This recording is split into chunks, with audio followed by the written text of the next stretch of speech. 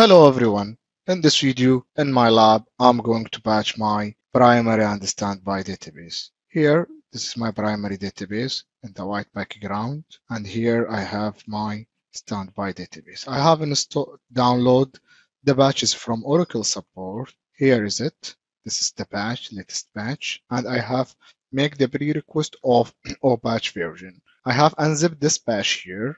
This is the number. Same thing I have did with my standby database. So file is ready with me.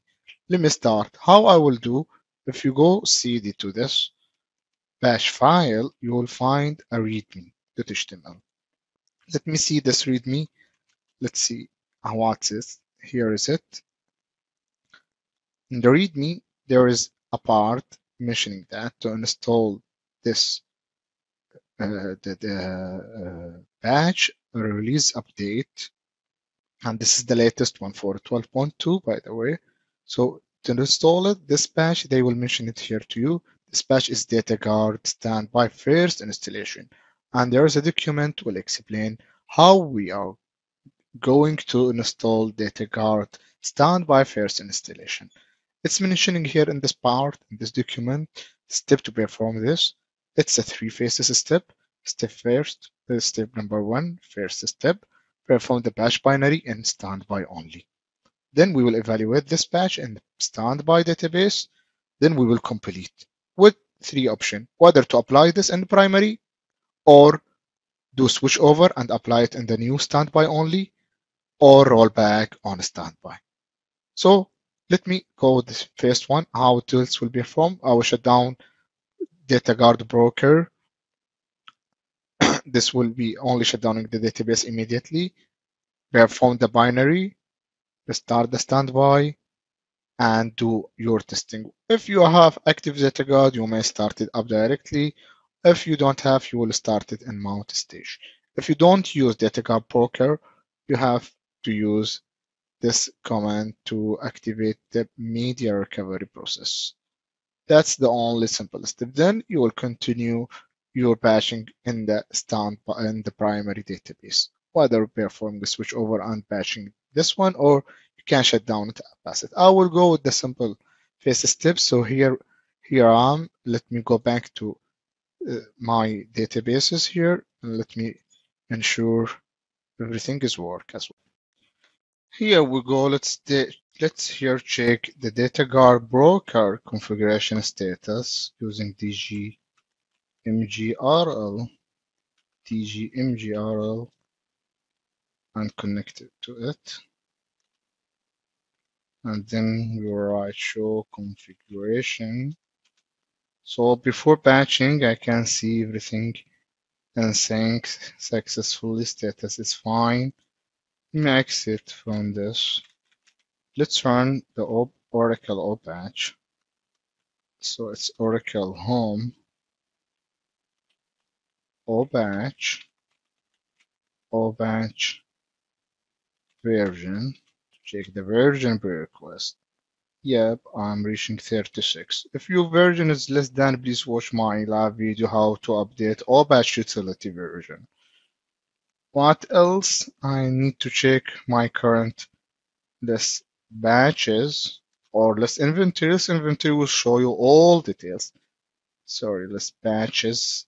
Uh, have a mistake batches like this with ES. It's my bad. Yup, here is it. There is no batch yet being installed. There's no interim patches installed in this Oracle home.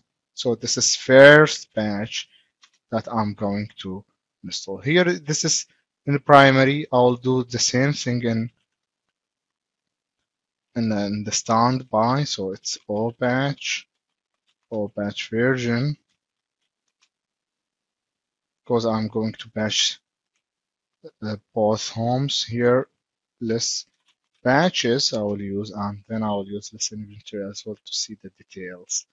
So this no term batch and list inventory as well I'm going to check just to see there is no batch at all there's no details. So I have seen this. Now I'm going to start. So as per the readme of bash batching, I have to stop everything running in this standby first.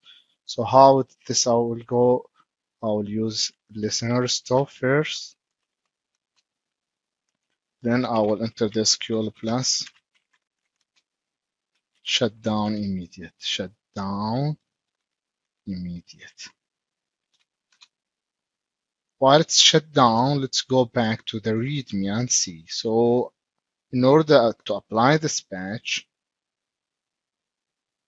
or even before I will check this patch pre-request, this should be your database even while it's run. So I can go back to my primary database, even here, cd to the patch, and using this utility of opatch to check this pre-request of this patch. So whether you run it in both node or first node only, because batch homes will be exactly the same. So it's fast. Don't need to run it here. However, even though if you would like to run it in both, you may run it in both. Would be much better to run both. This can be run even while your database is up and running. You, don't need to check the pre-request while it's down. So it's passing and opatch successfully here. So next to do, I have unzip completely cd and I can apply it. However, if you can see before this, you'll have to shut down all your database. If you go the details of this. So my database is down, listener is down, no processes stuck with the binary. Yes, now I can use opatch apply. So let me start this opatch apply and wait for this to be continued. Press yes. Would you like to proceed? They check yes. This home will be ready. Yes, it's ready.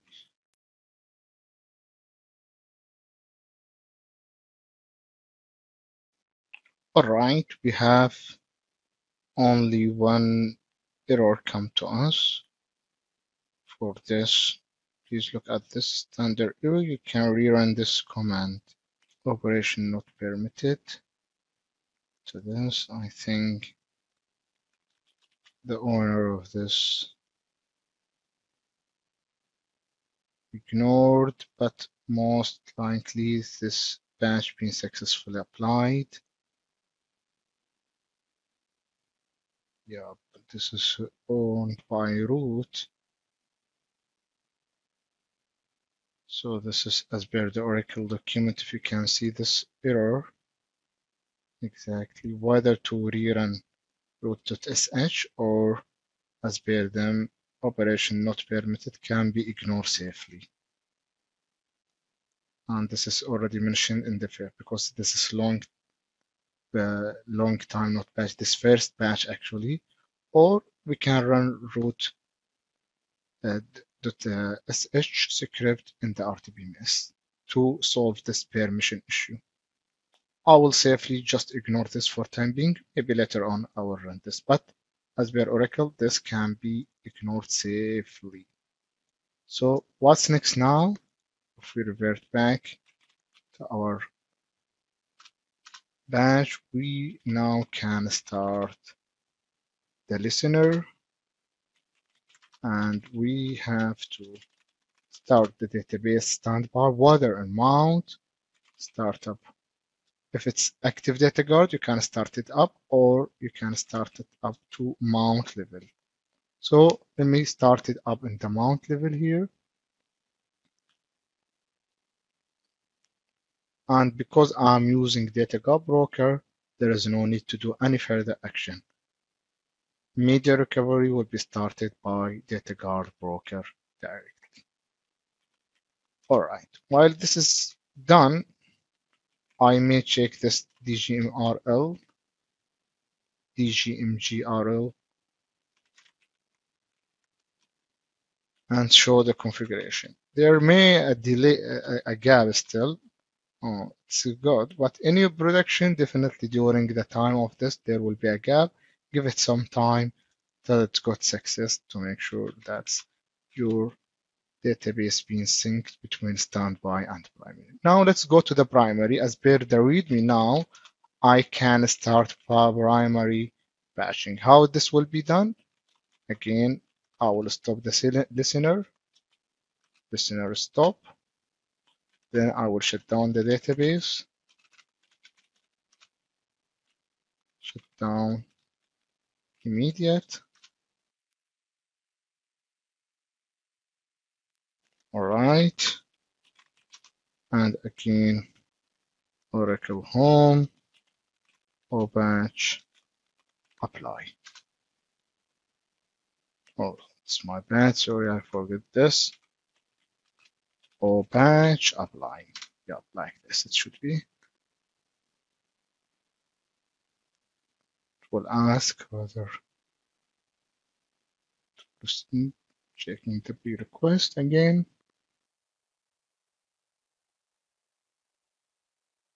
Yeah, but proceed please.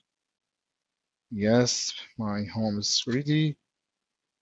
By the way, in production, it's advisable and recommended that you take a full backup of your home, it or zip it in somewhere before patching, because this is, will be the only way to roll back your patched home by removing this and unzipping the, the one that you patched. If in case there is something occur during the patching, they call it out of uh, in, in home or uh, in out of place patching. Even you can save the time by patching another new home, copying this to another one and patch it, then just rerun and re-register this home in your inventory and start up this database with different and little bit more complicated steps need to be performed, but it will be much safer than patching directly your home.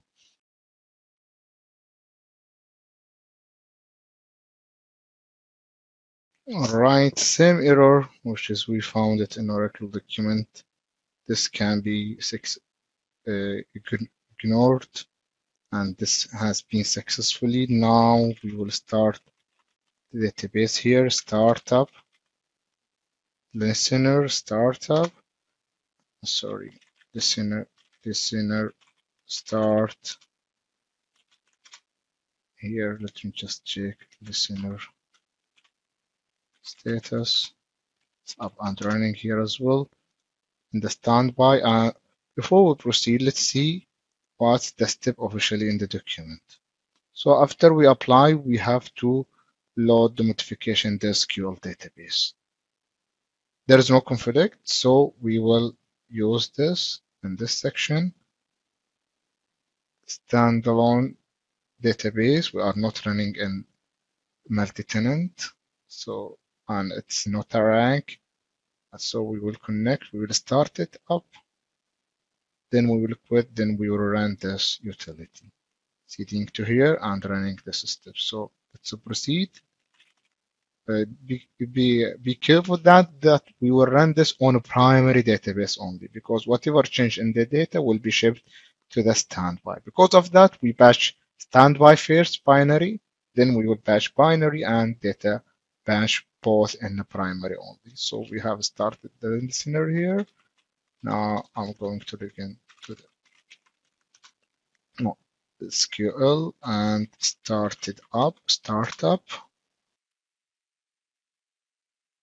Here we go. Exit clear. cd to this path and running the data batch in verbose mode to see what's going on. Let's run it.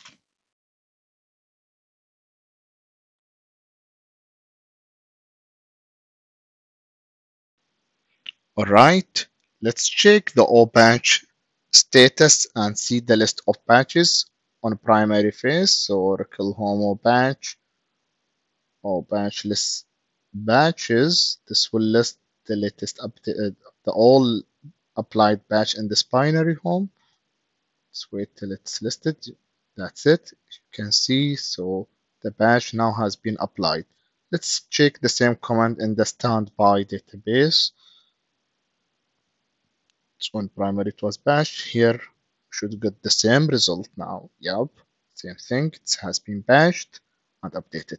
Last things, we have to check the data guard status So show configuration will, will list as the status.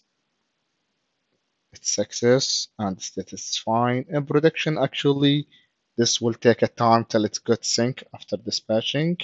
So we have patched the primary, we have patched the standby in this lab, and we bash uh, using the standby first because once we batch the primary with data batch will be batched there, it will be shipped to the standby. So with this video, we have completed this batching.